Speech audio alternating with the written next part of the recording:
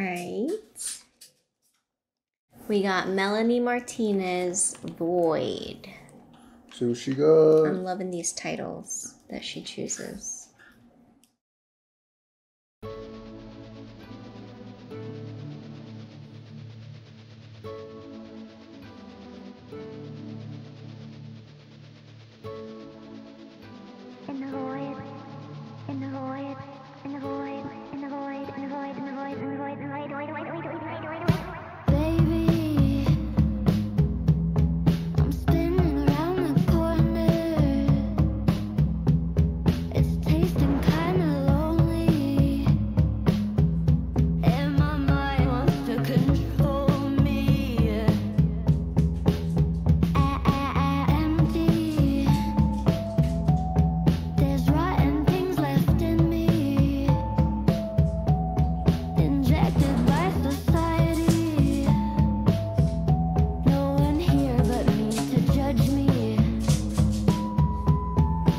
I love everything she said in that verse. You know, there's rotten things in me injected by society.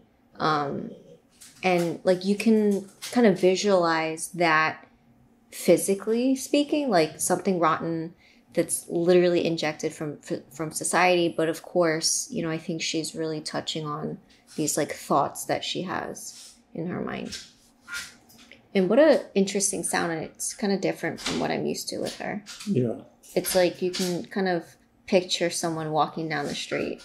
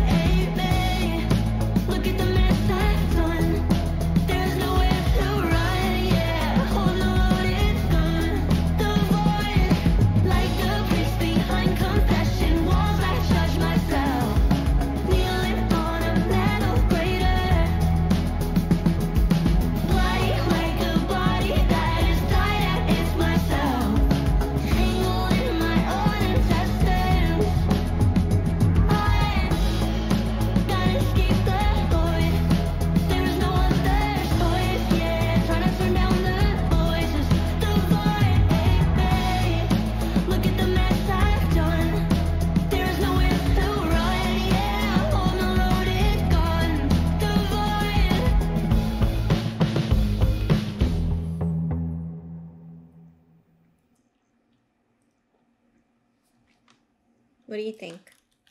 So there's a couple of lines that stuck out to me that I liked. One was, you know, my fickle insecurities and turn them into beauty. Well, she said, collect my fickle insecurities and turn them into beauty. Alchemize the dark within me.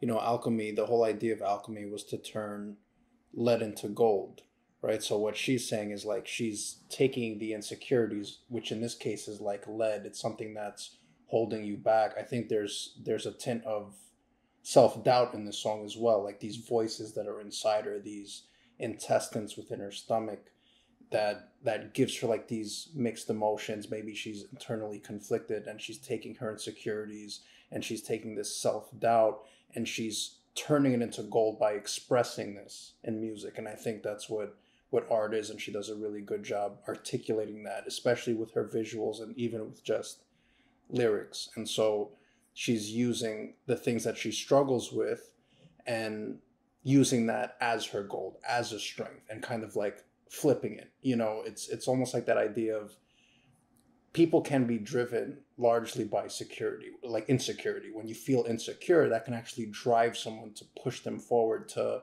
to better themselves because they're trying to fill that insecurity with something it's, it's actually the driving force that that pushes people to, to go further and and so i like that line a lot like alchemize alchemize the dark within me you know it's, it's using that dark energy and bringing something good out of that. You know, that's that's a Jungian idea, and you know that like integrating the shadow, integrating your dark side, and creating something out of that.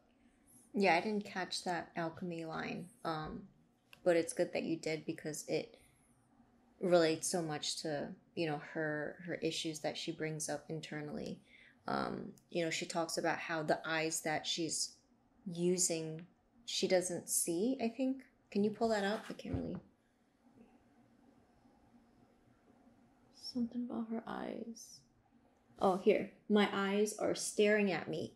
Who says that, right? Like, my eyes are staring at me. She's implying that it's almost as if her eyes are staring at something other than herself. It's almost as if she's already divided herself when she's reflecting. It's almost like she doesn't recognize herself, right?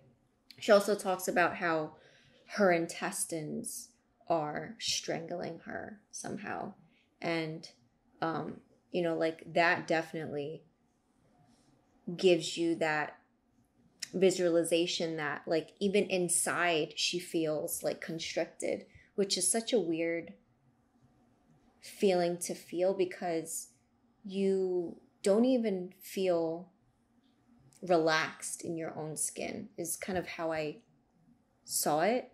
Um, and it's sad to still hear about her struggling with insecurities when you think about her whole lifetime within all of the albums, right? Like she talks through insecurity from time to time um and also like issues with society and it's sad to you know hear right because it's such a real issue um and you know it's something that you sometimes don't realize someone's struggling with uh, because it's so internal and so you know void you know it's it's this emptiness and you know she wants to i think she um is actually identified as they so they feel this emptiness inside and you know i think if not often, we do feel this way from time to time and we want to escape it. And it's just a very relatable song um, for myself. And, you know, I'm interested to, to hear, you know, what this album's about. You know, sh- for her first song is Death and now it's Void. It's very dark. Yeah, and, and there's a lot you touched on. Well, one thing I'll add to that line, like my eyes are staring at me, the way I perceive that is there, there's a part of you that's criticizing yourself. There's there's a part of you, I think um, psychology calls it like the the observing ego. Like you're constantly looking at yourself, judging yourself, criticizing yourself, wondering if you're ever going to be good enough and that's where the insecurity comes from yeah it's it's it's the fear of societal judgment the fear of how people are going to perceive you that's a part of it and the other part of it is like how you think society is going to perceive you right? So it, it's the external opinions but then your opinion of how the external opinions are, are gonna are gonna impact you you know? And so with celebrities i think with melanie martinez the more successful you get the more eyes start to the more eyeballs you start to attract right? The more attention you get. And so i think that insecurity it, it doesn't necessarily go away. It might even get worse because as you go on through the years you realize there's more and more and more and more people watching you which means there's more critique there's more criticism there's more people you know reviewing your music and there's so much that comes with that. And i think it, it's something that like people tend to struggle with because you're, you're always setting the bar too. Like you come out with a good album and then the next album you're thinking oh my god is this going to be as good as my last album so i can see that being a struggle for for artists Yeah. We should rename this channel to Lessons with Mr. Lopez. Literature Lessons with Mr. Lopez. I'll be the student.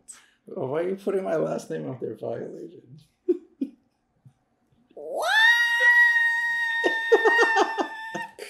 Bye.